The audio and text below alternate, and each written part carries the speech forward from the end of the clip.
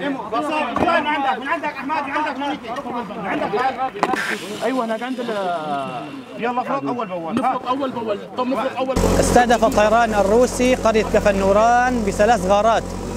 وقام الدفاع المدني بإنقاذ المصابين والشهداء وتم كحصيلة أولية سبع شهداء وعشر إصابات وتم نقلهم إلى أقرب مشفى ميداني.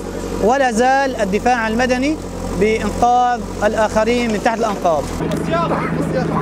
شباب